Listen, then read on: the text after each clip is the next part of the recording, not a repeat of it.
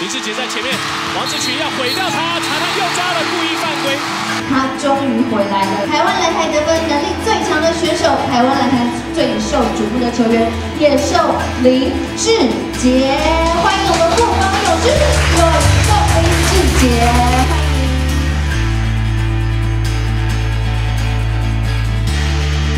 既然选择了回来，非常感谢富邦给我这个这么好的机会，希望就是可以为台湾篮坛做出一点贡献，然后让新生代有更好的舞台，然后去发挥。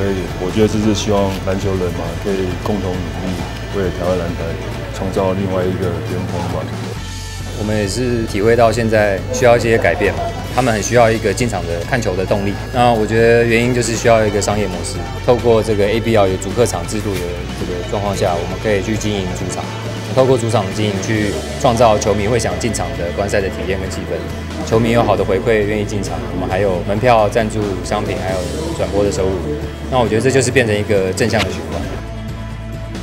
我觉得志杰他可以先从我们队内球员看到自己他自己的要求的一个精神在那边。这一周他已经开始跟着我们训练，他的训练的身体的碰撞啊，或者说他的力量这些，绝对可以给我们球员很大的一个震撼教育吧。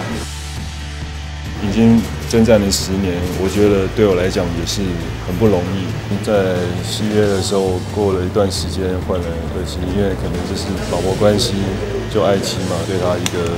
回馈吧，然后回来，因为毕竟是明明出发就是从这里，然后也是穿十二号，回家感觉也要穿到最熟悉的号码这样子。